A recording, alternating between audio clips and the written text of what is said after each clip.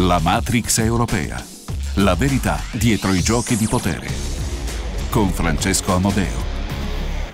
Voglio sperare che quelle forze convengano con me sul fatto che chi dall'estero dice di voler vigilare sull'Italia non manca di rispetto a me o a questo governo, manca di rispetto al popolo italiano che non ha lezioni da prendere.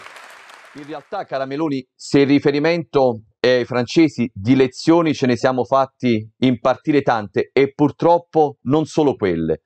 Abbiamo per esempio accettato al governo una serie di politici che hanno poi ricevuto la Legion d'onore francese, ossia una delle più alte onoreficenze conferite a chi si è distinto nel fare gli interessi francesi nonostante ovviamente molto spesso quegli interessi fossero in competizione con gli interessi italiani.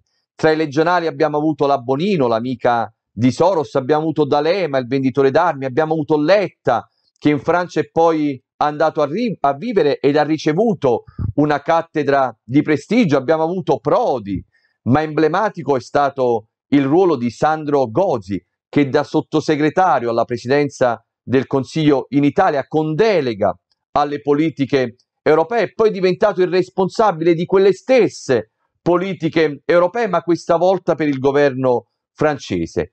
Ed è in Francia che Gozi si candiderà alle elezioni del Parlamento europeo, nonostante proprio lui avesse gestito nel suo ruolo in Italia dei dossier sensibili che potrebbero essere stati utili contro di noi nelle mani di uno dei nostri competitor europei come la Francia. Eppure nessuno ha denunciato questa anomalia fino in fondo, per non parlare poi di quando abbiamo avuto un presidente del Consiglio calato dall'alto, Mario Monti, che proveniva direttamente dalla commissione Attali per il rilancio della Francia, insieme al ministro italiano Franco Bassanini, anche lui con la Legion d'onore francese. Altro che lezioni da prendere, abbiamo preso i loro uomini e li abbiamo messi a capo del governo italiano.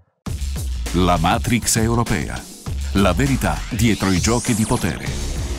Con Francesco Amodeo.